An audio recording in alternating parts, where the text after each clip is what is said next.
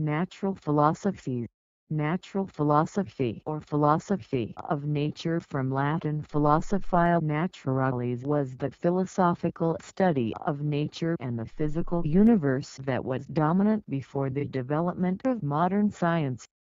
It is considered to be the precursor of natural science. From the ancient world, starting with Aristotle, to the 19th century, the term natural philosophy was the common term used to describe the practice of studying nature.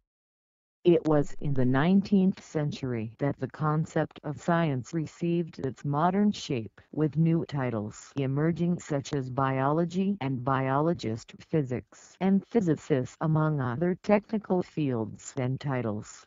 Institutions and communities were founded and unprecedented applications to and interactions with other aspects of society and culture occurred.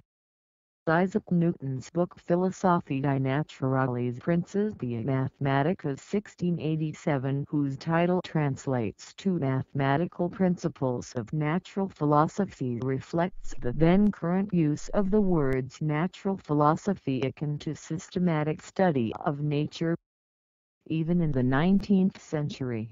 The treatise by Lord Kelvin and Peter Guthrie Tait, which helped define much of modern physics, was titled Treatise on Natural Philosophy 1867. In the German tradition, Naturphilosophie philosophy of nature persisted into the 18th and 19th century as an attempt to achieve a speculative unity of nature and spirit. Some of the greatest names in German philosophy are associated with this movement, including Goethe, Hegel and Schelling.